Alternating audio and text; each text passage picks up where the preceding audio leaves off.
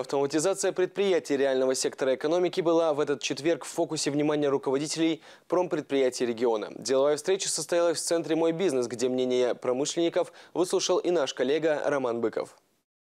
Россия, как и остальные развитые страны мира, давно страдает от нехватки рабочей силы. Но с последнюю пару лет этот вопрос еще больше обострился.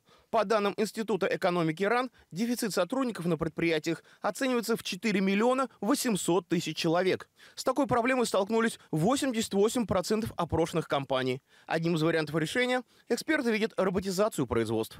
Промышленные роботы могут использоваться в различных областях. Все зависит, на самом деле, от более детально построенной задачи. Точечная сварка, э, дуговая сварка, роботизированная покраска, укладка продукции, загрузка-выгрузка станков.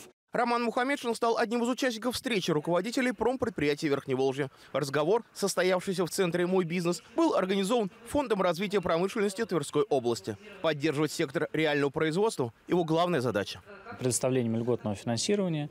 Те программы, которые на сегодняшний день существуют в фонде, они подходят для реализации проектов, связанных с роботизации или автоматизации производств, но при этом э, есть задача со стороны э, руководства области о том, чтобы разрабатывать индивидуальные специализированные программы, связанные с темой роботизации. Среди вопросов, рассмотренных на встрече, были как начать автоматизацию, как выбрать поставщика.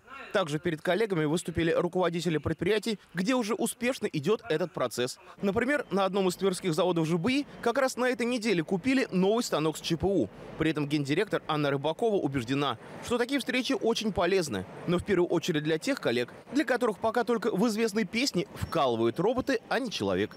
Я с удивлением на совсем недавней встрече услышала от одного из руководителей строительных компаний, а, что вязать арматуру, ну а чем еще можно вязать? Конечно, крючком. А то, что мы у себя на заводе уже, ну, наверное, лет 10 применяем автоматические пистолеты для вязки, он понятия не имел, хотя он работает в строительной отрасли, что есть такое приспособление. Когда его спросили, он говорит, не, ну такого еще не придумали, не изобрели.